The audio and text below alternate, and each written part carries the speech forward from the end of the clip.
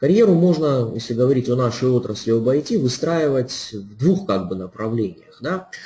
А, можно а, попробовать выстроить а, свою карьеру как руководителя, то есть развиваясь, скажем, от ну, программиста, от э, системного администратора, инженера, в сторону там, руководителя группы, руководителя проектов, руководителя поддержки, это одно направление. Вот о нем мы именно и поговорим. Другое направление, которое, собственно, имеет свои плюсы, естественно, э, это углубление именно в какой-то узкопрофессиональной области, то есть э, углубление своих компетенций, как того же, скажем, инженера, разработчика, архитектора далее и так далее, и так далее. Ну, вот в данном случае на вот этом нашем как раз семинаре я хочу немножечко рассказать о том варианте, который упомянул первым, то есть как выстраивать ну, то, что, может быть, э, можно назвать такой иерархической карьерой, да, то есть развиваться э, в сторону не технологическую, а в сторону такую организационную, в сторону управленческую. Ну, поскольку мы, с, наверное, с большинством пока что не очень сталкивались, знакомились, я коротко вот представлюсь. Собственно, я именно в таком направлении сам свою карьеру и выстраивал. Я начинал когда-то как программист, как разработчик, потом как руководитель там разработки. И, в общем-то, вот последние уже лет 10, даже больше занимаюсь как раз э, проектами, программами, портфелями проектов, выстраиванием, поддержки уже именно как эксперт, как консультант э, в этом направлении. А, и для того, чтобы начать, я вот хочу начать с такого слайда. Мне это очень нравится, как выстроена структура как раз именно проектного управления в корпорации Марс. Вот с точки зрения, вот я позаимствовал у них здесь слайд, надеюсь, они на меня не обидятся.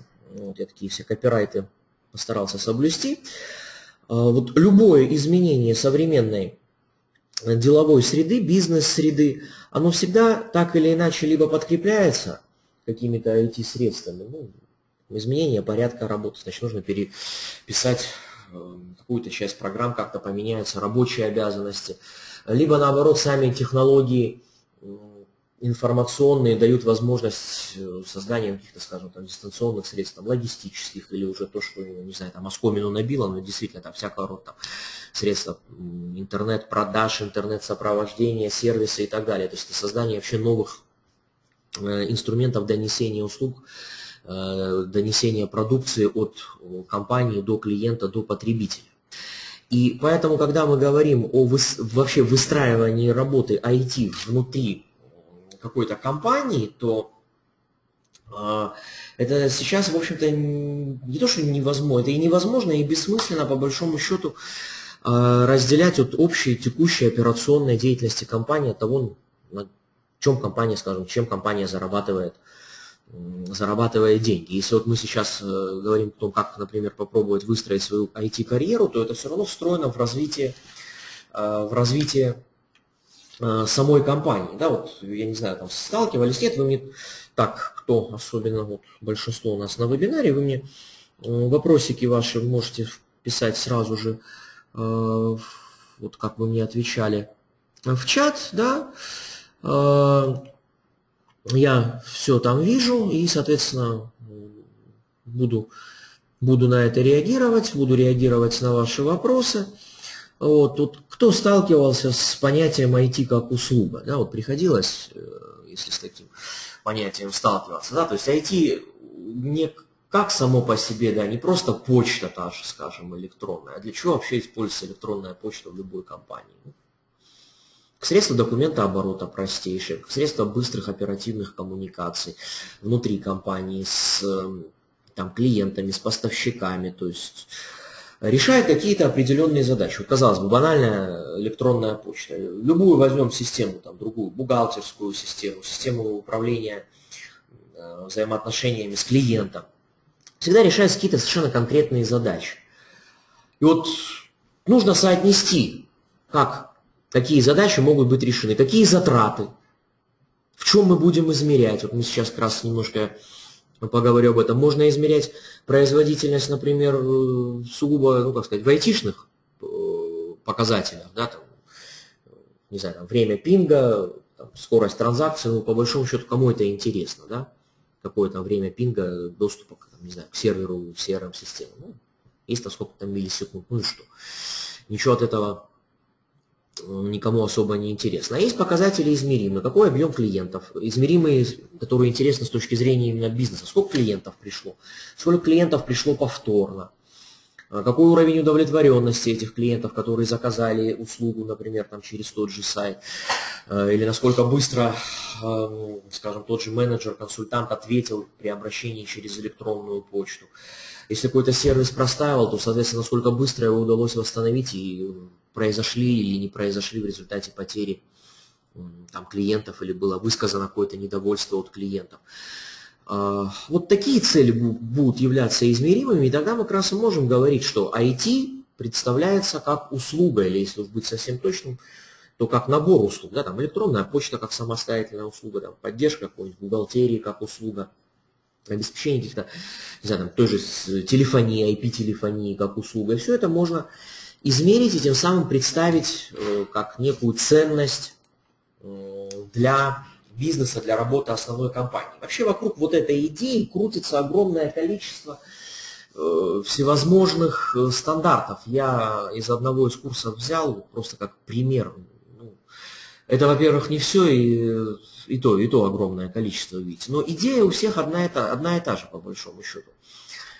Это то, о чем я как раз в общем-то, вот сейчас и э, говорил, что э, а как выстроить управление IT в компании как услугой, как, соответственно, выстроить взаимоотношения между бизнесом и IT-подразделением, между IT и внешними клиентами, как реализовывать проекты по внедрению так, чтобы в ходе реализации не нарушалась работоспособность всего остального и так далее, и так далее, и так далее.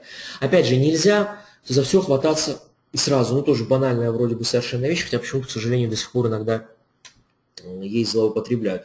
Давайте мы сразу сделаем все как правильно. Не бывает так. Всегда есть какой-то степ-бай-степ.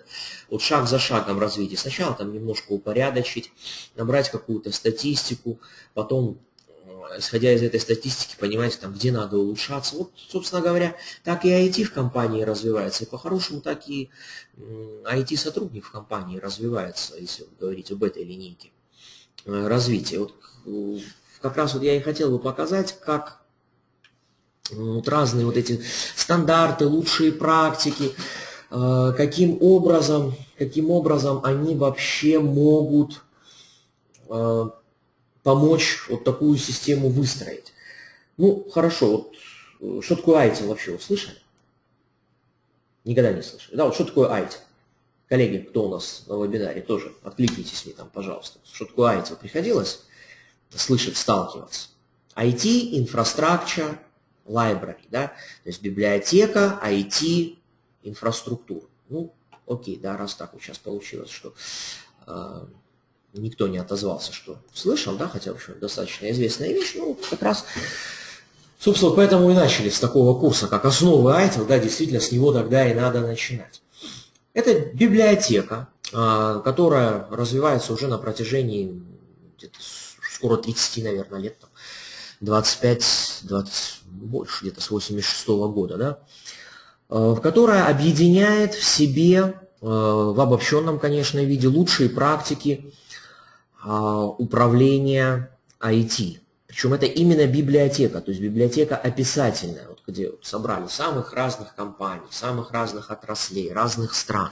Вот регулярно собирают, обобщают лучшие практики. Как, например, исправлять какие-то ошибки, да, там, управление инцидентами, управление проблемами, как оказывать поддержку пользователям, как развивать. И вот это все собрано в пять больших томов, так называемый core, да, а, да, основные публикации. А всего сейчас, если мне память сильно не изменяет, то ли 33, то ли 34 книги в этой библиотеке существует. Это не значит, что всю библиотеку нужно читать. Нет.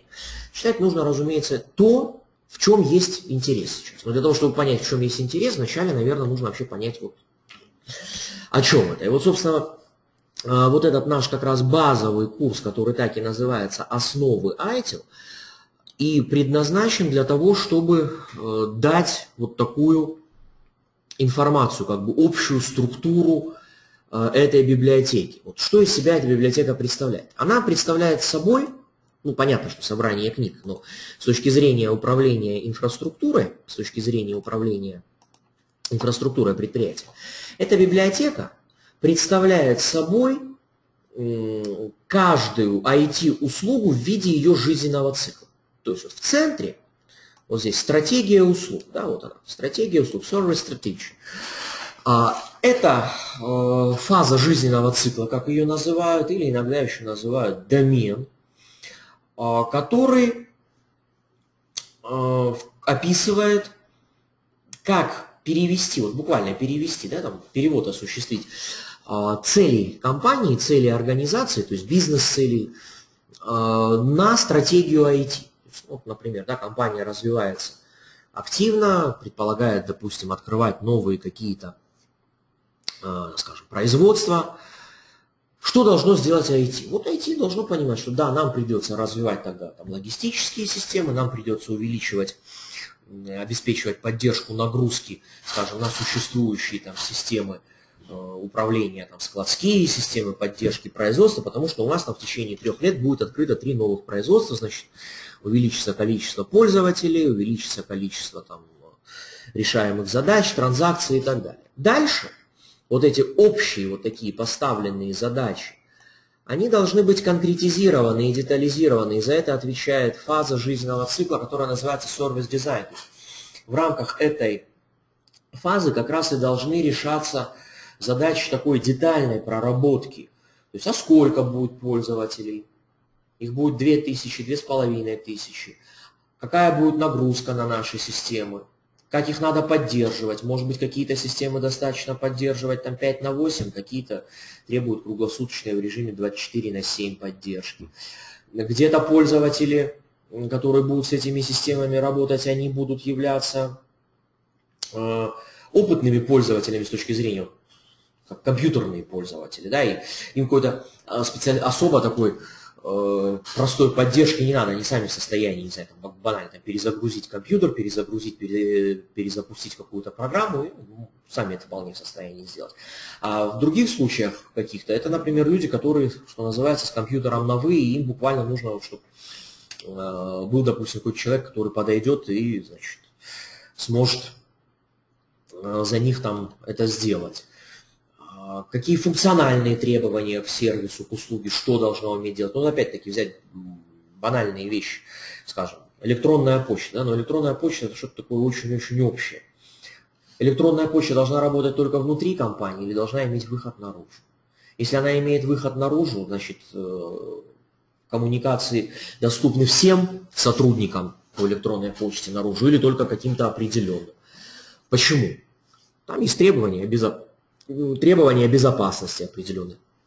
Определенные финансовые могут возникать ограничения, потому что если взять какую-то крупную организацию, не знаю, там, Сбербанк, представьте себе, десятки, если не сотни э, тысяч сотрудников, да, и вот э, если всем дать, э, разрешить доступ из их корпоративной почты вовне, там придется там, безумные нести затраты просто на то, чтобы это все поддерживать. И так далее, и так далее. Вот эти все вещи, они прорабатываются в рамках фазы сервис-дизайн. А дальше должен, собственно, запускаться проект, изменения и, собственно, вот что-то создаваться новое или улучшаться старое, исправляться какие-то ошибки. И за это отвечает фаза жизненного цикла услуги, которая так и называется преобразование услуги, service transition. То есть мы вносим какие-то изменения, начиная от максимального, там, создается новый, новая вообще услуга и заканчивая там, исправлением ошибок или добавлением какого-то функционала, каких-то новых отчетов, может быть, может быть, каких-то новых функциональных блоков.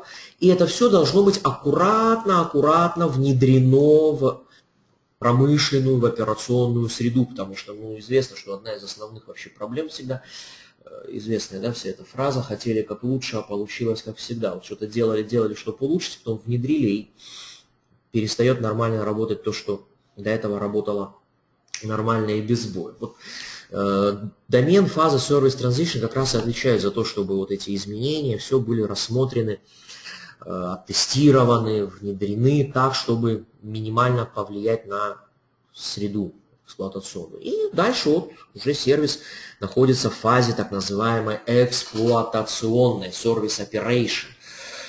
То есть это как раз текущие всякого рода регламентные работы, профилактика, это текущее решение проблем, решение так называемых инцидентов, то есть устранение сбоев, э, которые повлияли на пользователя, это поддержка пользователя. Ну, естественно, почему это все в цикле? Ну, тоже понятно, потому что все развивается, все постепенно развивается какой-то момент возникнут новые задачи у бизнеса или будут выявлены ошибки, опять понадобятся изменения. То есть, вот. В результате вот эта библиотека ITIL, она сгруппировала четыре такие основные фазы, да, очень укрупненно. И вот э, на курсе как раз по основам наша задача разобраться, за что отвечает какая фаза, какие там внутри есть процессы, то есть уже более детальные такие участки деятельности. Кто за них отвечает, какие там метрики, ну, скажем, если говорить, допустим, о фазе Service Operation. Основной процесс какой-то. Управление инцидентами, естественно, то есть решение сбоев, которые повлияли уже на работу э, пользователя. Какие там основные метрики. Скорость решения, насколько быстро решен возникший инцидент, насколько пользователи удовлетворены, насколько этот инцидент принес ущерб, убыток э, работе компании. Вот такие вещи мы как раз обсуждаем на вот этом базовом, базовом курсе. В общем, если вы действительно до сих пор э, не сталкивались с основами IT-управления, то, в общем, наверное, а, с него имеет смысл начать, как раз чтобы вот именно разобраться, что за что отвечает. Причем вот с точки зрения карьеры как раз и полезно, чтобы разговаривать с теми же бизнесами на, одной, на одном языке, даже вот неважно, если человек, например, начинает работу как там оператор helpdesk или там инженер технической поддержки, вообще понимать, а почему пользователь что-то требует, почему там руководитель отдела что-то требует, почему для него может быть какой-то момент важен, иногда даже может говорить, вот там, обычная фраза айтишника, там эти идиоты там опять от меня хотят, чтобы там шрифт сделал вместо 12 там, пикселей, там, 14 пикселей. Иногда это действительно ерунда, иногда э, это имеет под собой какие-то основ основания, например, нужно что-то выделить, чтобы клиентам компании бросалось в глаза, да, и это там повлияет на объем заказов. То есть, такие вещи их нужно понимать. Вот. С этого действительно начать. Но ITIL, именно как библиотека, она очень, как сказать, высокоуровневая, то есть она достаточно абстрактная. Э, действительно, ведь нельзя организовать управление на основе библиотеки, потому что библиотека это что? Это просто книжки, да, вот нельзя управлять на основе книг. Управление на основе чего обычно производится? Ну, какие-то регламенты, инструкции, там должностные, операционные. А, а ITIL это просто вот в общем описано. Поэтому, э, когда мы начинаем непосредственно что-то внедрять, вот я, например, в своей практике использую ITIL как фундамент, ну это, собственно, не только я, это все, да, ITIL такой фундамент, базис. А есть более детальные методики, вот я в своей практике использую методику Microsoft Operations Framework, MOF так называемый. А, то, что она от Microsoft, здесь заблуждение вводить не должно, прямого отношения никакого к продуктам Microsoft она не имеет. Это именно методика, то есть детальное изложение алгоритмов, порядка действий. То есть принцип тот же самый, вот если вы посмотрите. Да? Сначала любая услуга должна быть что спланирована, да, то есть вот, оценена с точки зрения финансов, ее ценности для бизнеса, внутренних политик – Затем должен быть что? Реализован, вот он, проект по созданию или изменению услуги. То есть, да, сначала делается план проекта, тоже сейчас об этом поговорим. Затем там, разработка, стабилизация решения, развертывание и затем передача куда? В ту же фазу операционную. Да, в операционной поддержка пользователей, решение проблем, текущие какие-то операции, мониторинг, услуги. То есть принцип тот же самый. Но в МОФе а, идет своего рода развитие ITIL. То есть это не альтернатива, это как бы развитие. ITIL более общее, а дальше начинаем конкретизировать, детализировать. Да? Вот, если вы будете знакомиться с ITIL и с MOF, в частности, опять же, на наших там, если курсах, я вот всегда показываю, что э, в MOF гораздо более, гораздо более детальные алгоритмы. Вот алгоритмы, которые представлены в MOF, их можно прямо брать и там, ну, сопоставить буквально с, со своей штатной структурой, это готовые операционные должностные инструкции. Делай раз, делай два, делай три. Готовые. Вот, то есть можно не изобретать велосипед, потому что, ну, понятно, изобретая велосипед, мы, естественно, там всегда рискуем пройтись по всем граблям, по которым до нас уже много раз ходили. А можно взять ITIL, какие-то вот рекомендации взять, вот алгоритмы, например, те же разрешения инцидентов или разрешения проблем, которые есть в МОВ, и посмотреть, как они ложатся на нашу структуру. Все, и сэкономить время и уменьшить тем самым себе просто количество э, ошибок. Потому что, ну вот, смотрите, вот вы сказали, допустим, что никогда не слышали про ITIL, а вообще в IT работаете? Да. Работаете. Вот э, я сто процентов уверен, потому что очень много таких людей уже видел, знакомился, когда вот человек говорит, я ничего не знаю это. Вот начинаем знакомиться, говорят, а, ну да, у нас так и работает, ну да, так это разумно. Почему? Что действительно это, это разумно, просто можно, что называется, себе набить шишек и, и, и к этому прийти, а можно, в общем, посмотреть, как до тебя понабивали. И, в общем, понять, что можно какие-то вещи сделать уже воспользовавшись, э, воспользовавшись чужим опытом. А чем МОВ еще более как бы близок к нашей практике, чем IT? Два основных еще момента. А первый, вот здесь выделяется, вот видите, здесь такое вот, вот синее общее поле, да, нет центральной фазы, а есть такое еще синее поле, это так называемый слой управления, manage layer. Что это такое? Это описаны общеуправленческие задачи. Вот governance, то есть в чистом виде просто администрирование. Ну, как, руководитель обычно что там должен делать? Ну, проводить какой-то, э, там, не знаю, мониторинг того, как сотрудники выполняют свои обязанности. Не знаю, банально начинает, то, что вовремя ли приходит на работу, работает ли по инструкции.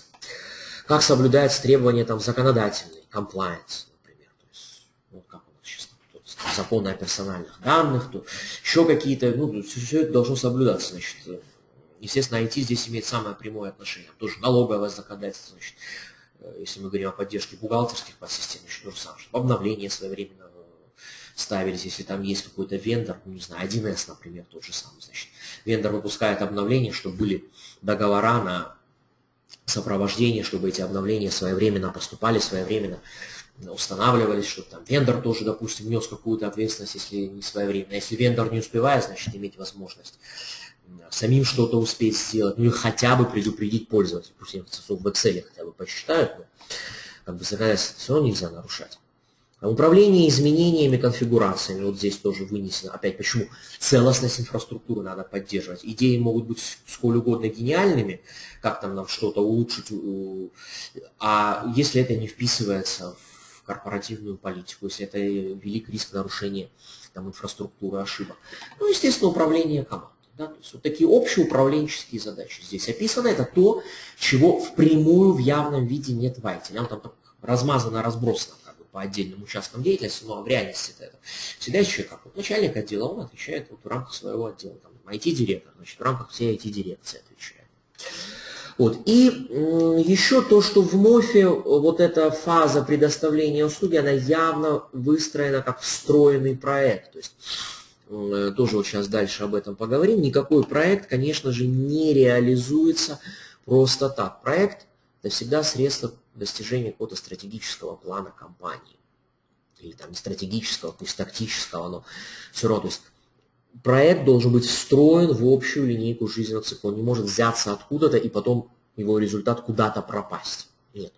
Он должен исходить из каких-то планов развития и затем в соответствии с теми самыми регламентами передаваться в операционное обслуживание. А это значит, что люди, которые занимаются операционным обслуживанием, они тоже фактически являются как бы созаказчиками продукта, потому что мало того, что продукт должен обладать каким-то функционалом, он еще и должен а, то, что называется, быть supportable. Да, то есть должна быть возможность его обслуживать, поддерживать, какое-то там текущее развитие какое-то производить, иначе можно что-то сделать, а его потом поддерживать невозможно. У меня когда-то там был такой анекдотичный случай в практике. Э, у одного клиента, значит, их вендор сказал, да, да, мы вам вот там требования нагрузки, очень высоконагруженная система, значит, там порядка 4000 транзакций в секунду при там где-то 40 миллионах пользователей в пике в нагрузке, то есть ну, очень высоконагруженная система. И разработчик там одного из блоков сказал, да, да, без проблем будет работать. Когда ему задали вопрос, а как будет работать? Да, как вот ставите, вот мы посчитали даже вам, они еще вроде как любезность сделали. Ставите кластер из 72 блейд серверов, у вас будет вся эта нагрузка держаться. Ну, ребят, ну, простите, это unsupportable систем. Никто же не будет здраво уметь такой кластер ставить, потому что он там стоит дороже, чем все остальное вместе взято.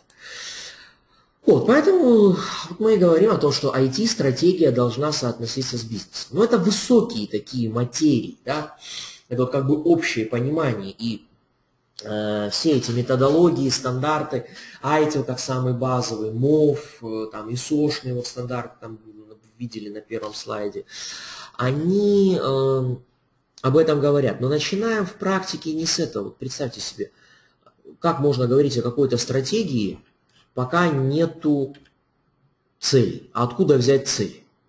Вот цели вообще, да, есть такой принцип, не знаю, тоже слышали, нет, тоже вот, напишите, откликнитесь так, э, SMART, умные цели, да, умное целеполагание. Приходилось такое слышать в SMART? Приходилось, да, то есть цель это не просто какая-то там, благая идея или благое пожелание или еще что-то такое. Оно должно быть совершенно конкретное, измеримое, реалистичное, достижимое. Пока мы не начнем измерять, мы не можем понять, что мы будем. Вот я всегда говорю, вот когда здесь э, специалисты, там, сколько уж там, лет 7 назад начали выстраивать по этим тоже подходам, внутреннюю поддержку, а, изначально никакой статистики ничего не было. А, как, как можно ставить какие-то измеримые показатели? Из головы, да, глупость, бесполезно, их никто даже пытаться достичь не будет. Поэтому как? Сначала набирается статистика, просто какой-то регламент э, делается с минимальными э, метриками, минимальными параметрами, которые только, ну, совершенно очевидны. Например, там, у нас вот что было в начале? Время реакции, сколько можно было посчитать время реакции, скажем, на заявку в зависимости от приоритета. И доля закрытых заявок в течение месяца. Вот вначале чуть посчитать другого было нельзя. Потом по мере набора статистики, естественно, цели усложняются, уточняются. Это постоянный, постоянный такой процесс. И вот поэтому обычно, когда в организации начинают внедрять э, какие-то вот ITIL э, ориентированные, ITIL основанные подходы, чаще всего начинают не с каких-то таких больших-больших целей, какой-то там стратегии, какого-то там светлого будущего нет. По статистике в 90 с лишним процентов случаев внедрение начинается именно с текущей поддержки. То есть, попросту говоря, вот то, что есть, вот оно есть, вот так сложилось. Значит, вот то, что есть сейчас, должно работать, по крайней мере, предсказуемо. Как только мы добьемся предсказуемости работы того, что есть, мы сможем понимать, где у нас узкие места. Может, у нас пользователи плохо подготовлены. Может, у нас слишком зоопарк решений. Может быть, у нас там слабые рабочие станции. Может быть, слабые сервера. Но пока мы не начнем это поддерживать и накапливать статистику и давать какие-то минимальные гарантии э, пользователям по работоспособности того, что есть, мы не сможем понять, что нужно улучшать. А давайте мы поставим, там, не знаю, вместо Lotus а Exchange. А зачем? Денег потратим много, это точно. Вопрос, зачем? Что мы добьемся? Lotus старая система. Ну и что? Может она работает, может она решает задачу. Вот опять же говорю, у нас в свое время какая была э, ситуация. Если видели у нас на сайте есть сервис онлайн-тестирования. Вот он с 2001 по 2011 год 10 лет проработал на одной и той же платформе. И нормально работал, и хорошо было удобно поддерживать.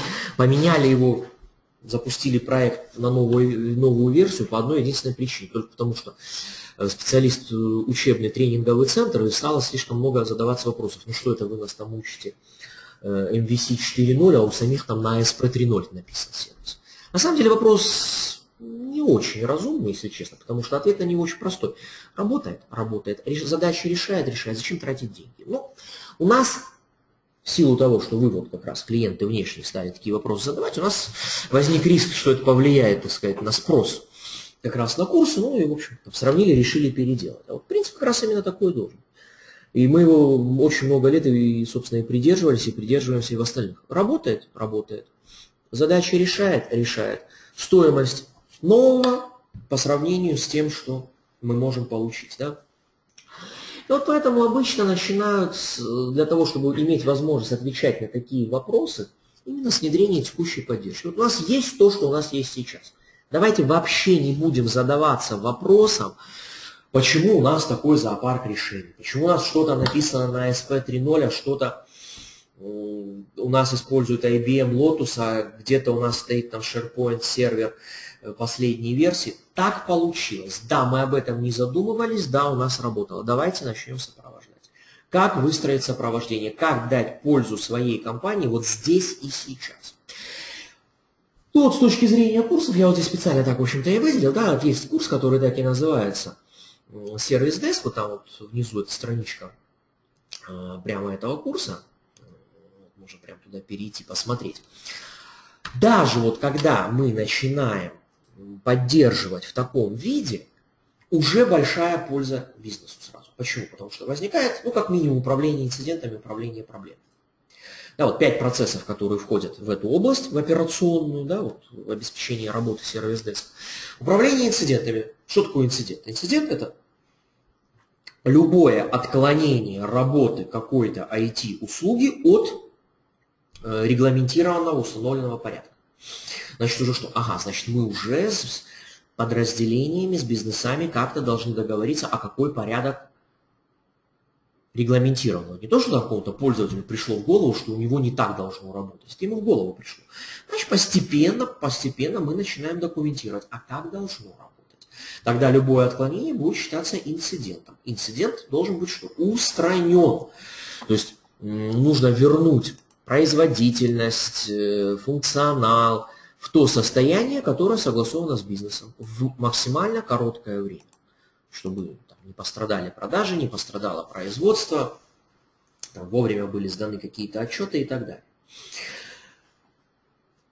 Управление проблемами. Проблема что такое? Проблема – это причина возникновения инцидента. Ну, то есть, как пример. Инцидент. У меня не, ход...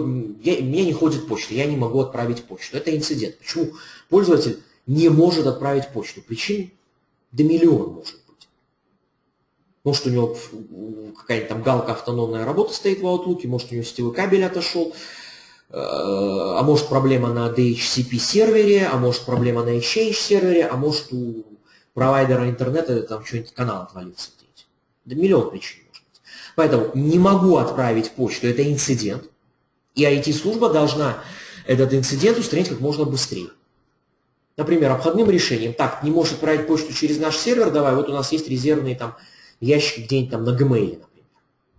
Да, это не очень хорошо отправлять почту с общей, как бы так сказать, не корпоративно, но это же лучше, чем вообще там клиенты еще подумают, что вообще организация умерла, да? Хотя бы так восстановить возможность работы. DHCP сервер или руку или что, окей, сейчас мы тебе DNS просто на IP-адрес напрямую пропишем, все, ты сможешь почту отправлять. Инцидент устранен.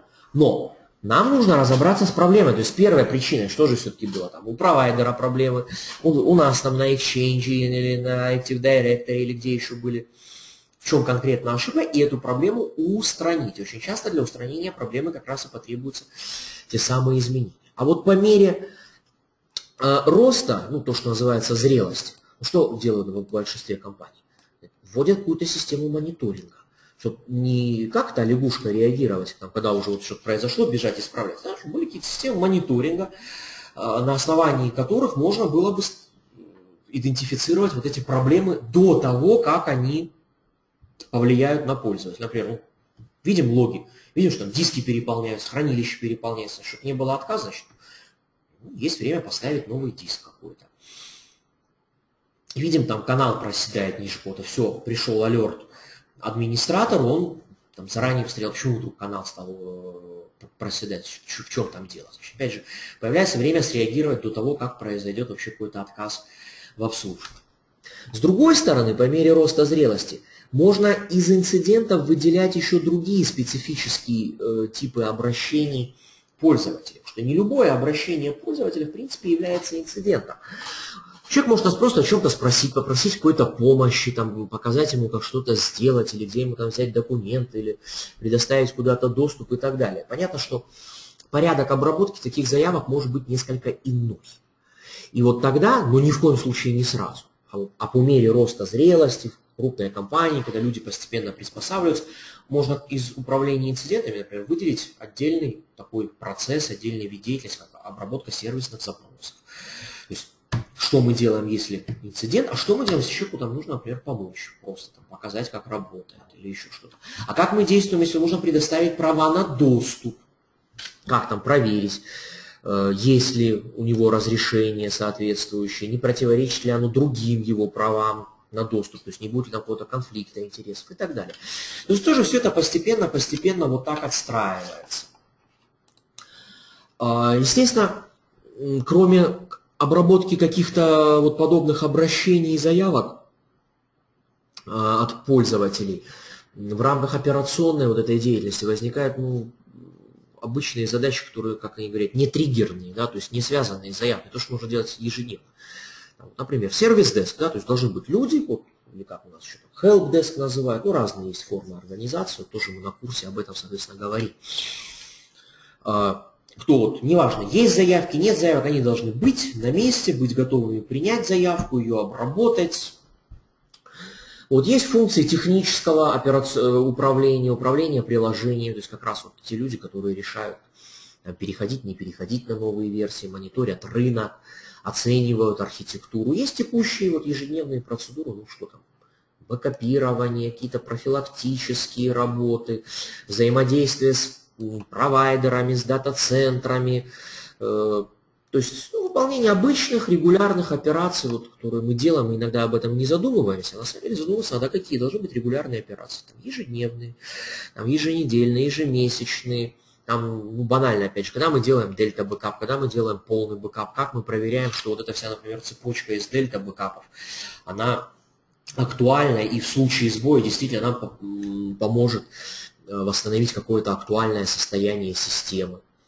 Вот, вот в результате вот эти пять процессов, так называемых, и пять функциональных блоков, они как раз составляют а, в совокупности те задачи, которые решаются в рамках операционной фазы. Ну а мы их, соответственно, вот и рассматриваем на курсе по организации работы службы поддержки, да, как раз для того, чтобы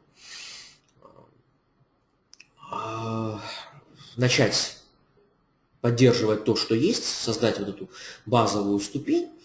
Вот, курс, вот этот курс уже четырехдневный, вот если базовый курс, он трехдневный, да, вот как бы структура обо всем, то здесь этот курс, он уже четырехдневный, углубленный только в одну область, плюс он готовит э, к сертификации уже старшего, э, ну или как ее точно называют, интермедиа, да, среднего уровня.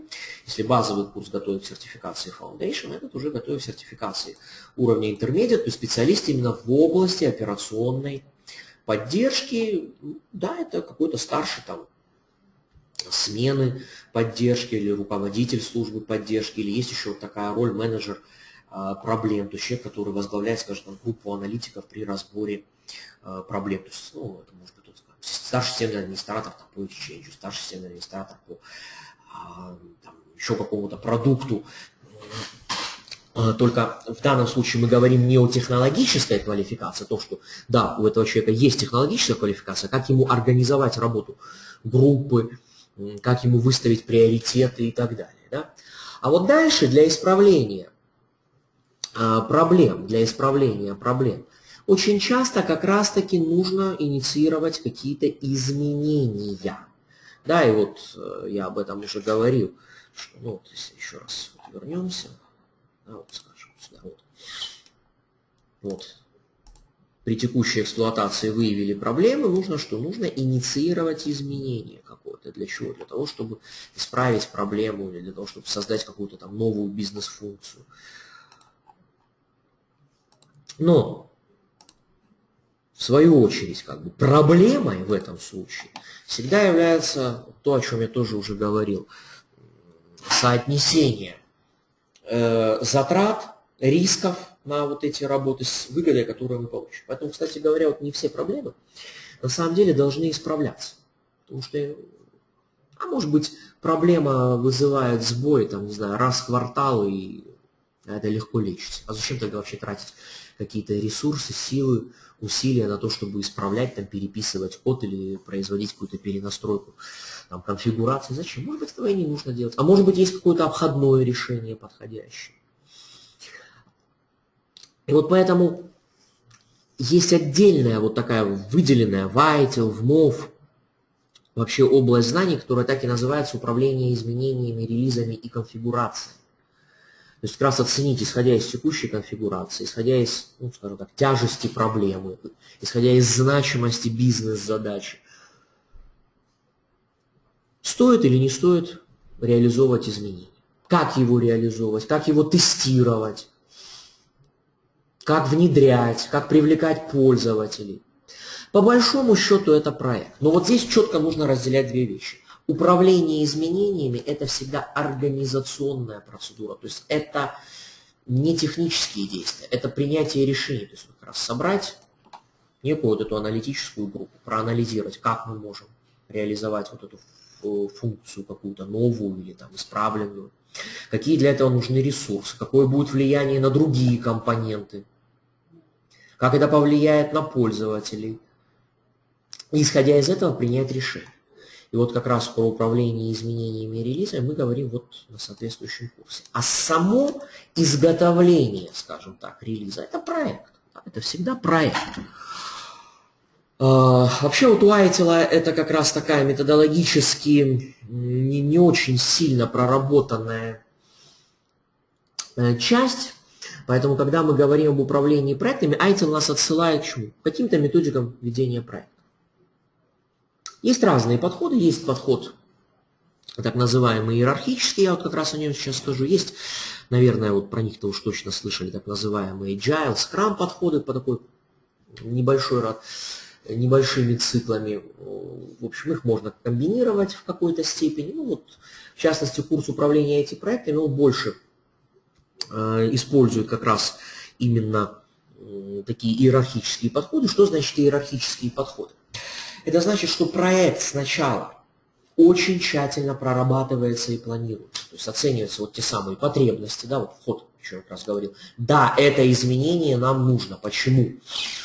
Потому что у нас есть определенная какая-то бизнес-потребность, скажем. Нам нужно исправить ошибку определенно. Для чего? Это позволит не знаю, э, продавцам продавать на 10% больше, они меньше будут терять время там, на рестарт сервиса.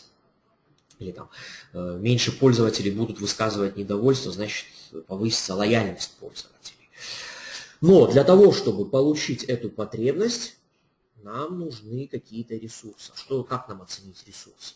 Естественно, проработать содержание проекта, что должно быть сделано, какие там затраты должны быть, лицензии, люди, технологии. И вот иерархический подход к ведению проекта, он как раз и предполагает такую детальную, пошаговую, итеративную проработку. Сначала некое общее видение, потом такая как бы локализация, потом еще уточнение, еще, и только потом переход уже непосредственно к тому, что называется изготовление, кодингу, к разработке. Если же речь пойдет о небольших каких-то вот изменениях, это могут быть agile методологии, то есть собрались быстренько там с пользователями, обсудили, как им удобно сделать, и, соответственно, там за пару недель что-то э, что сделали. Да? И вот здесь я хочу еще обратить внимание на один курс, э, почему вообще множество проектов проваливается, да, если так поставить вопрос. Вообще в IT среде количество неуспешных проектов, вообще в мировой даже практике, э, достигает кошмарных совершенно цифр. Это там, порядка 70% проектов неуспешны. То есть либо вообще их бросают недоделав, либо в результате, как вот эту, знаете, там известную картинку наверняка видели, там хотели сделать качели, получилось непонятно что. Либо сделать сделали, но вместо года делали три года и выпустили в работу, когда это уже, в общем, не особо и нужно было. Почему такое происходит? А происходит такое как раз-таки зачастую из-за того, что э, пренебрегают той самой иерархической моделью планирования. То есть, вот, а, сейчас вяжемся, быстренько что-нибудь сделаем, там посмотрим. Как правило, такое не очень хорошо работает. И вот как раз э, вот эта иерархическая модель предполагает что нужно очень-очень тщательно собирать требования. Вот я нашел такой э, забавненький да, рисунок. Это на самом деле из одного из как раз IT, из, э, ну, не самой методологии, конечно, а как бы иллюстрации да, таких. На самом деле, можно сказать, что нужно, что нужно сделать? Вот, вот у нас есть там некая потребность пользователя. В принципе, вот на этом рисунке ее удовлетворили. Ну, в общем, да. Человек может сделать то, что там хочет. Будет ли он доволен? Сомнительно. Почему? Потому что не собрали требования. Не, не разобрались, что хочет бизнес. Не разобрались, как конечный пользователь будет выполнять свой рабочий процесс. Вот если уйти от этого забавного рисунка, я э, всегда привожу вот пример из своей там ранней практики, проектной как раз, когда тоже только там, можно сказать, учился и осваивал там на страховом рынке. Как раз там делали проекты для страховщиков, как раз тогда, ну это давно уже было лет 11-12 назад. Вот программа обязательного э, автострахования как раз. И вот э, мы там с такой столкнулись ситуацией, что когда мы работали с, со средними, с небольшими компаниями, все было хорошо. Когда перешли уже, так сказать, подросли, перешли к компаниям с первой десятки, в первой же мы столкнулись с э, проблемой какого рода? Что после внедрения нашей системы компания стала продавать меньше пользы, то есть попросту меньше продавать, меньше зарабатывать денег. То есть классическая ситуация. Хотели как лучше, продавать больше, стали Почему? А ситуация оказалась как раз вот э, банальная совершенно до невозможности. Почему? Кто выступал в роли заказчика? В роли заказчика выступает, правда, там, ну, кто-то из дирекции страховой компании. Ну, например, там, директор по имущественному страхованию, или там, начальник департамента автострахования. Мы не ответили для себя на один простой вопрос их IT-службы не ответили на этот же вопрос для себя. А когда этот начальник департамента последний раз сам лично продал полис? Когда мы над этим вопросом задумались, ответ варьировался в диапазоне от давно до никогда. А что это значит? Что интересует такого начальника? Его интересует соответствие требованиям законодательства. Да, разумеется, вся отчетность, подзаконность, подзаконные акты, там постановление правительства, регуляторов прочее. Ну, надо соблюдать. Да кто бы спорит, конечно, надо. Внутренняя отчетность бизнес-аналитика, разумеется, интересует. Все это у нас было сделано гениально. А вот сама процедура продажи полиса была сделана немножко кривовато. В чем? Почему? Потому что начальники отделов сами полисы уже забыли, как продают, или никогда не знали, как, даже как они продаются. Продаются. Как-то. Почему в результате произошла просадка производительности? Потому что те самые вот рядовые сотрудники, вот эти агенты по страхованию, они теряли очень много времени просто на том, что они сначала смотрели э, в бумажную вот эту заявку, а потом искали, где же это поле, ну не знаю, там, например, фамилия, э, в форме на экране, в программе. И вот, и вот а поскольку там полей, ну кто вот если свои машины страховал, видели там, что количество полей там несколько десятков, нужно заполнить. Вот каждое поле приходилось искать на экране. Всего-то что нужно было сделать, чтобы поля на экране в точности шли в том же порядке, что поля вот в официальной бумажной форме. Чтобы агент не задумывался, что вот он прочел первое поле, он здесь первое, кнопку табуляции нажал, у него второй, он здесь читает второй, как слева направо, сверху вниз читает, и тут у него слева направо, сверху вниз, все. Это, повышает, это повысило производительность э, вот реально почти в три раза, от двух с половиной до трех раз по разным компаниям. Вот казалось бы, такая ерунда. Поэтому сама процедура вот этого сбора средств, э, информации для технического задания, сбора требований, она у нас вынесена вообще в отдельный самостоятельный курс двухдневный, тоже на основе вот этих методик, стандартов. Мы как раз там разбираем, как вот эти документы, во-первых, есть методики сбора этих средств, во-вторых, кого надо привлекать, вот я как раз тоже в том числе и на этом же примере обращаю внимание, что не нужно думать, что вот если там Э, есть какой-то руководитель, он сказал, то так нужно всегда делать. Никогда не надо забывать ни про смешников, ни про э, рядовых пользователей, ни про тех, кто будет сопровождать систему. Потому что, я уже говорил только что, да, там, система в результате может обладать всем необходимым функционалом, но быть неподдерживаема, да, то, что называется unsupportable. Вот это все нужно учитывать. Вот, соответственно, вот этот курс у нас так и называется «Сбор требований и разработка технического задания». Вот там мы два дня говорим только про это. А вот когда это задание сделано, да, можно уже непосредственно начинать отдавать на проработку отдельные блоки, конкретно, ну, допустим, про тем же самым программистам. Да. И вот это как раз необходимо знать руководителям проектов по разработке, по внедрению, ну, а, это уже зависит от того, в какой вы компании работаете. Если в компании разработчик или компания интегратор, это скорее там, проекты разработки. Если внутри, то проекты внедрения. Э, либо это менеджеры изменений, то есть люди, которые как раз организуют э, и синхронизируют всю вот эту работу. Ну, сертификация, вот есть Экзиновская, да, вот этого голландского института информационных технологий, это тоже, заметьте, вот интермедиа сертификация, но уж как бы другое направление. Вот до этого я говорил, есть как бы да, специалист-менеджер по поддержке, а это менеджер по чему? По изменениям и релизам. Да? Ну, или вот менеджер проектов. Естественно, э, для получения вот этого статуса нужно гораздо больше, но вот эти курсы являются такой базой хорошей, первой в том числе дают так называемые баллы профессионального развития для а, допуска к экзамену, чтобы вот эту сертификацию сдавать, там нужно, не просто подготовиться, прийти сдать, а нужно еще, чтобы тебя допустили к этой сдаче.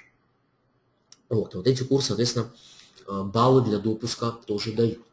А вот только потом уже можно переходить, это действительно потом не только с точки зрения карьеры, но и потом с точки зрения развития компании, самой ее IT-службы, можно переходить к чему?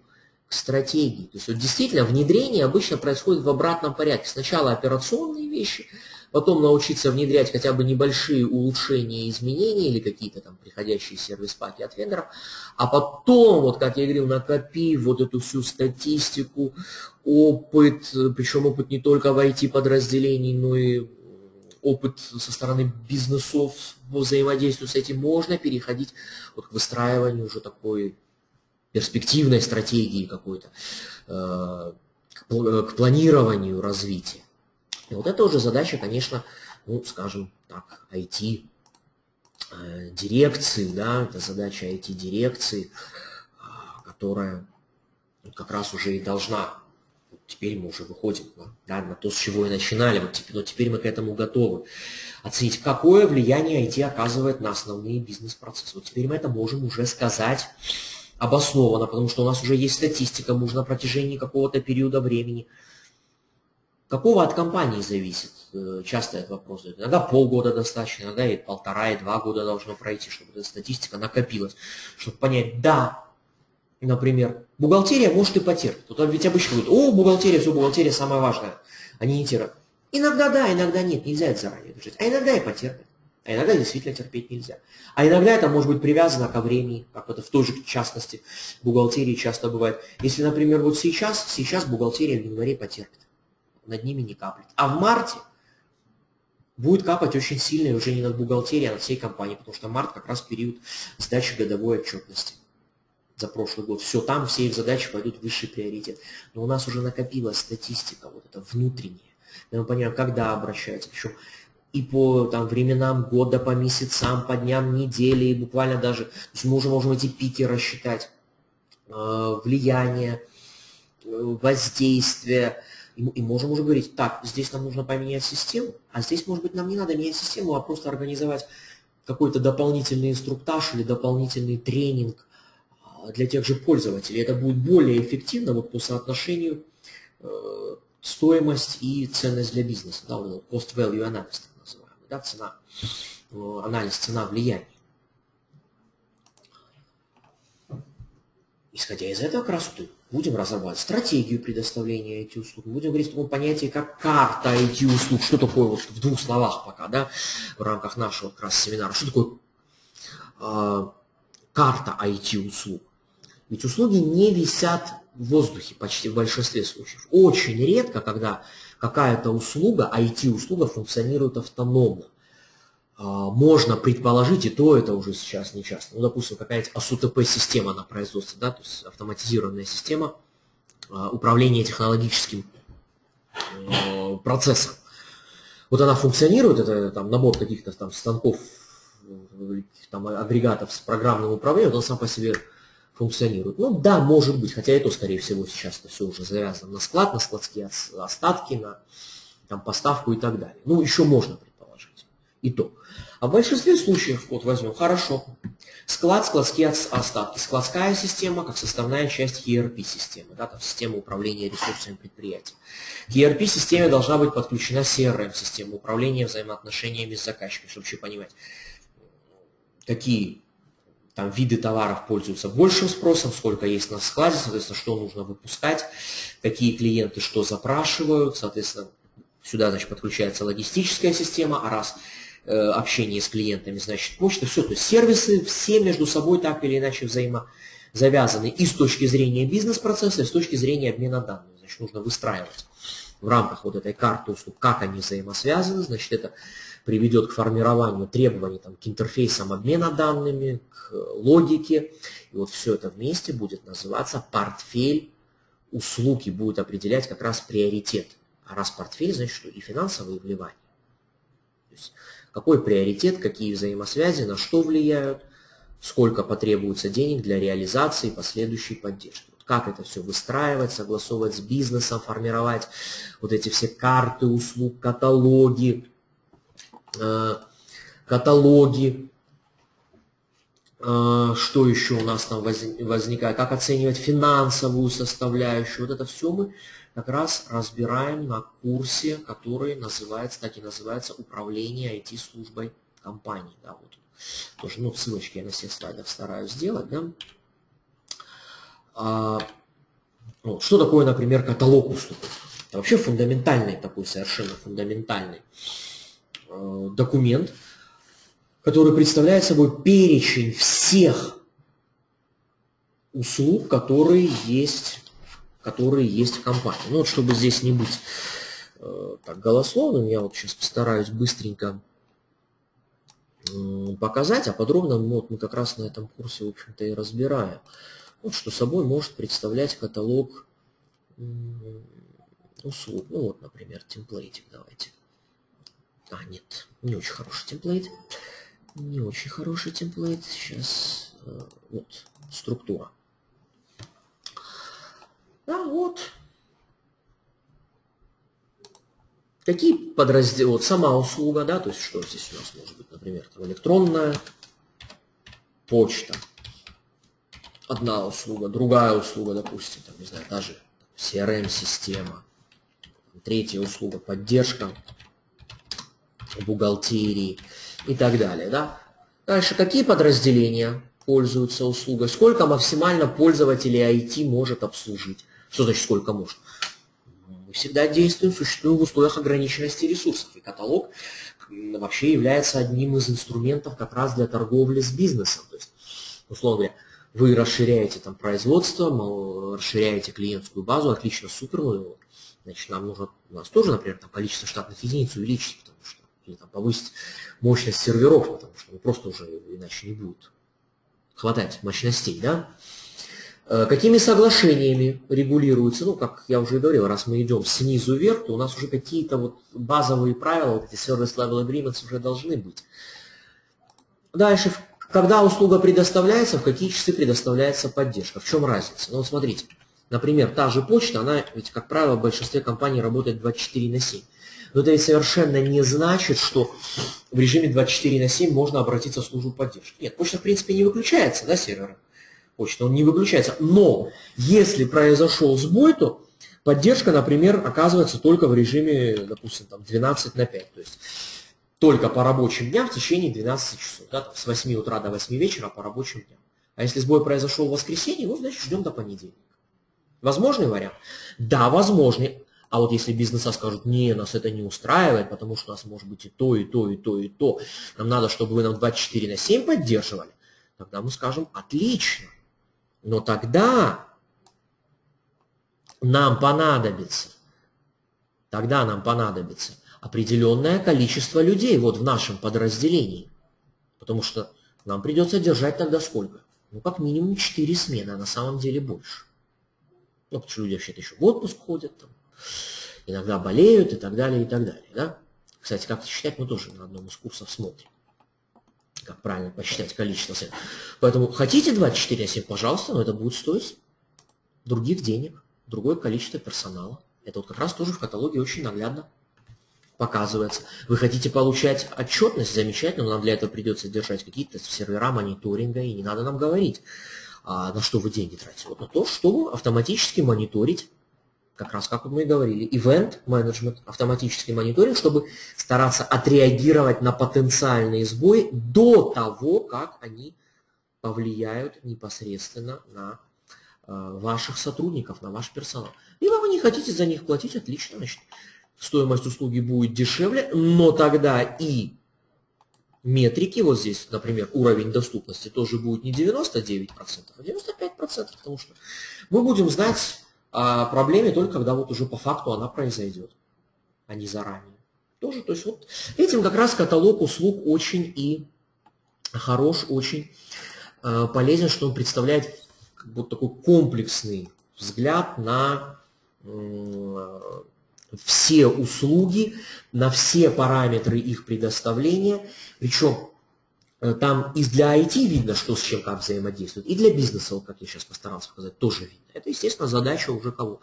Ну, как минимум, руководителя IT-отдела, а в таких серьезных компаниях это руководитель IT-департамента, скажем. А вот дальше с каждым клиентом, а клиент это кто? Подразделение или вообще внешняя организация, заключается так называемое соглашение об уровне услуг, Service Level Agreement, да, где вот как раз уже прописывается конкретика предоставления услуги для этого подразделения. Зачем это нужно? Потому что, смотрите, на самом деле, на самом деле, ведь, э, допустим, если мы возьмем ту же электронную почту, ну, предположим, да, э, электронная почта, например, для продавцов, для бухгалтеров и для склада имеет разный, разный уровень важности. Например, продавцы без электронной почты работать не могут. И она им, допустим, продавцам она действительно должна быть доступна 24 на 7. А складу, ну, склад вот работает, когда отгрузка производится товара, и все, ему, ему почта не нужна 24 на 7. Да там вообще, если почта не будет работать, они по своей складской системе прекрасно разберутся, как и что кому отгружать. Приоритет обслуживания будет меньше. Это тоже позволит варьировать. Ага, нам не нужно нам нужно поддерживать почту 24 на 7, но не для всех. Значит, можем, например, что? Сегментами выводить на там, профилактическое обслуживание. А если произойдет сбой, сегментами восстанавливать. Опять-таки, в случае какого-то глобального сбоя, первыми будем восстанавливать для кого?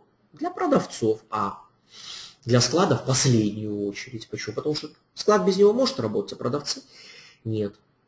А, таким образом, вот как формировать SLA соглашение, мы вот на этой и тоже на этом курсе выходим. Более того, само SLA соглашение, оно тоже не висит в воздухе, потому что для того, чтобы оно соблюдалось, вот такой слайд тоже очень хороший, очень наглядный в каком смысле. SLA соглашение, вот здесь, как вы видите, оно опирается да, на такие два столпа, на так называемые соглашения оперативного уровня и так называемые внешние контракты. Ну, внешние контракты понятно. Всегда нужно оговорить, в чем наша зависимость от поставщика программного обеспечения, от того же, ну, банально, провайдера интернета.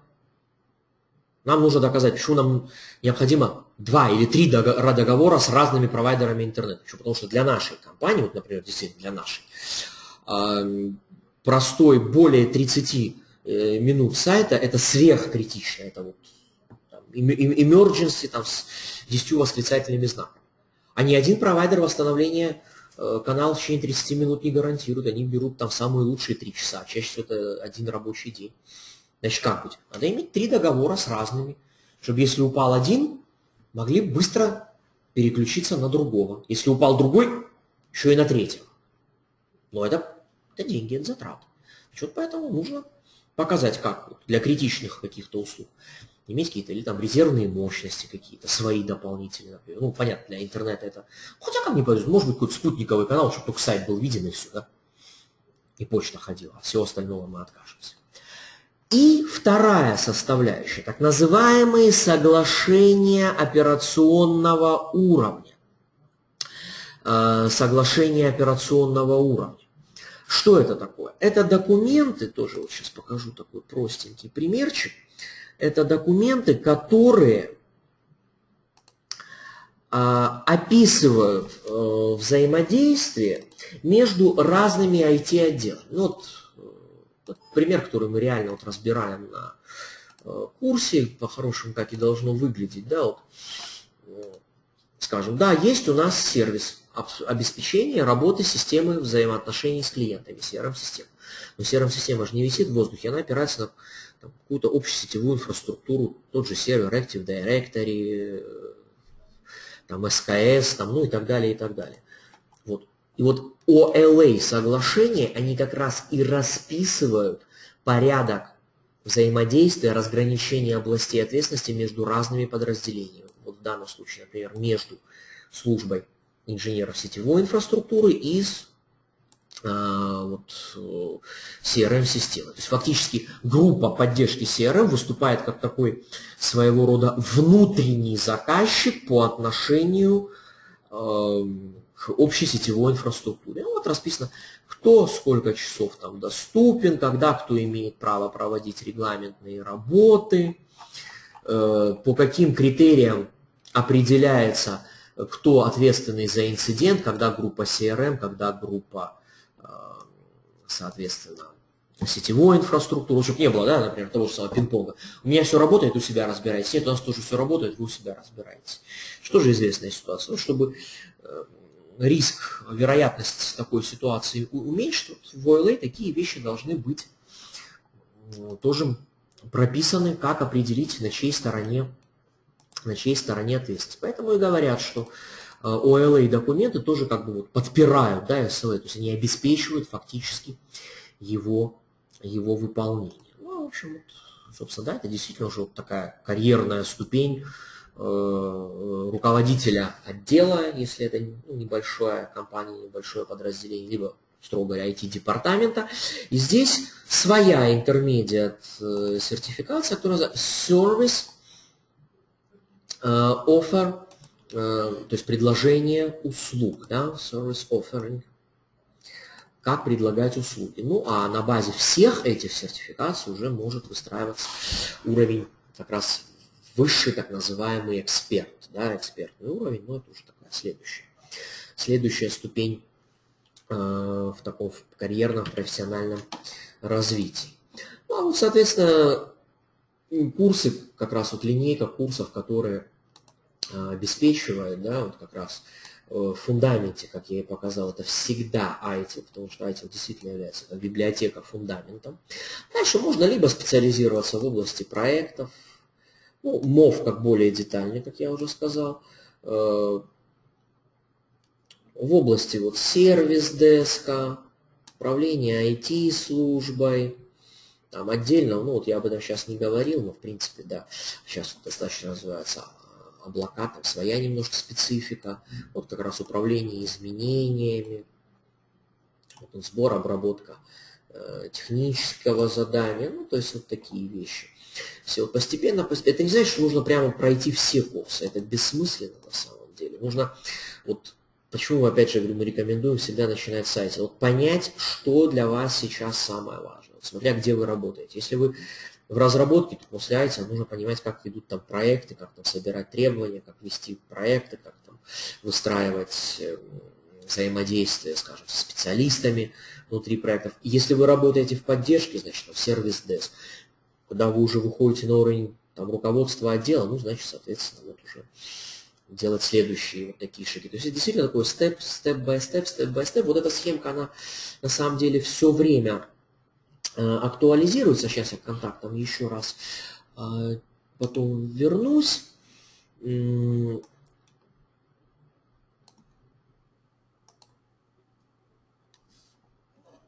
А, я вот хочу сейчас на сайте э, показать. Вот.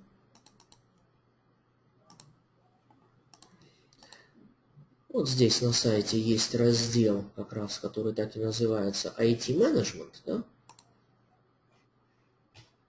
И, соответственно, весь набор курсов и э, актуальный, и в том числе актуальный так называемый путеводитель, они вот здесь всегда присутствуют. Вот здесь они как раз, видите, тоже все объединены. Здесь и IT-менеджмент, здесь управление проектами, еще отдельно выделено, естественно, мы сейчас не будем про это говорить, потому что это своя специализация, это предмет для отдельного разговора. Ну, в данном случае я на презентацию взял вот эту именно картинку, но она обновляется. И, соответственно, вот отсюда можно перейти, она, естественно, интерактивная, э, на страничку соответствующего курса. То есть каждый блок в этой схеме – это линк на вот страницу соответствующего курса, а на странице соответствующего курса там э, всегда уже вот можно посмотреть и ближайшую дату, и э, если зайти непосредственно вот на страницу, вот э, здесь, ну, понятно, что подробная программа и, собственно, вот расписание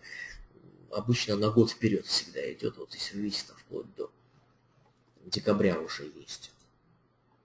Все это можно выбрать, причем э, имейте в виду, э, что можно, ну, даже сейчас вот один коллега у нас героически пришел после выходных в класс, остальные на вебинаре, и заниматься может точно так же и в классе, и на вебинаре. Есть э, форматы еще так называемые открытые, очно-заочные, вот обязательно. Смотрите, выберите, какой формат вам а, может быть, удобнее подойдет, может быть, там очно-заочный. Ну, для начальных курсов я не рекомендую, там, для ITIL базового, а для более старших очно-заочно очень хорошо подойдет. Открытый то же самое, то есть там в этих форматах можно ну, как, больше своим временем распоряжаться. То есть э, это форматы, в которых вот не просто, вот, как сейчас, допустим, э, преподаватель, тренер ведет занятия, а когда есть элементы самостоятельного занятия и есть э, время для взаимодействия с тренером. То есть вы можете самостоятельную часть как-то там под свой график подстроить, а фиксированное время уже пообщаться с тренером, во многих случаях индивидуально, и, соответственно, прояснить, э, прояснить там какие-то моменты, которые вас, которые вас интересуют. Ну, собственно, вот еще раз все контакты, значит, презентацию вы можете загрузить еще раз, значит, давайте покажу, где. Э, вот здесь вы логинитесь. Ну, вот я уже залогинился. Вот здесь вы логинитесь, э, затем у вас в личном кабинете будет вот, мои курсы, ну, соответственно, предстоящие, текущие, законченные, и, соответственно, ну, уже вот в законченных тогда появится вот этот курс наш. Ну, я, у меня, естественно, не потому что я здесь как э, тренер. Ну, вот он, примерно так вот. И вот здесь дальше на странице группы, так, на странице группы будет эта презентация. А, видеозапись, э, видеозапись будет доступно, ну, где-то примерно через неделю, 10 дней. А, они всегда выкладываются вот здесь, в разделе вебинара. Ну, можно несколькими способами найти. Давайте э, тоже все покажу. Значит, во-первых, в разделе вебинары есть э, вот специально красным выделено видеозаписи прошедших вебинаров. Ну и здесь, соответственно, по направлению. Да? Естественно, не надо, ну, можете поискать там, что еще интересно, разумеется.